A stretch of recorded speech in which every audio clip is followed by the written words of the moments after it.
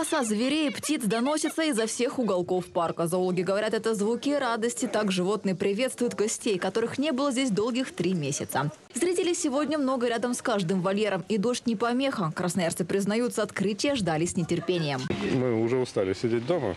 И возможность вообще выбраться чуть подальше от дома, чем просто вот во двор, это очень здорово. А тут животные, природа, дождик. Все здорово. Очень хотели прийти, ребенок очень хотел в зоопарк. Ждали, когда откроется. Просила жирафов, но жирафы, к сожалению, не работают.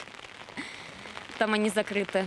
Африканских великанов и правда загнали в теплые вольеры. На улице слишком прохладно. В закрытых павильонах нельзя навещать и зверей поменьше. Это правило безопасности, чтобы избежать толкучки. Так что пока наблюдать за животными можно только на улице. Выходные с 9 утра и до 11 вечера. В будни зоопарк закрывается на час раньше. Сейчас можно купить билет онлайн или на кассах.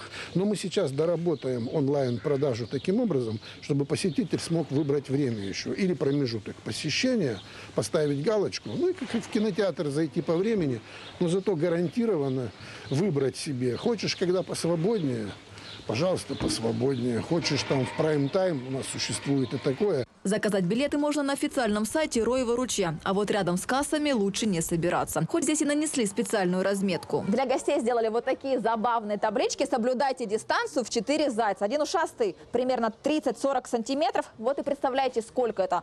Кроме того, сотрудники парка будут следить, как вы соблюдаете правила.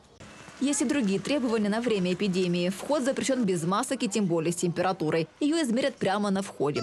В особом режиме только на вынос работают и местные кафе. А вот по количеству посетителей на территории парка ограничений нет.